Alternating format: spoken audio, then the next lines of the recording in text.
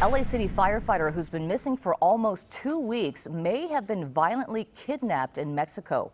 48 year old Frank Aguilar disappeared almost two weeks ago in Rosarito, where he has a condo that he visits frequently. KCAL 9 has learned when his family went to check on him, they say the condo had been ransacked, his car missing.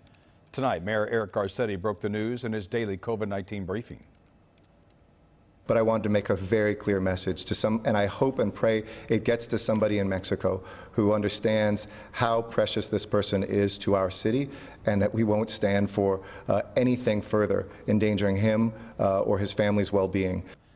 We're told the FBI has offered to help Mexican authorities with the search. Aguilar is a 20-year veteran of the department, currently assigned to Station 44 in Cypress Park.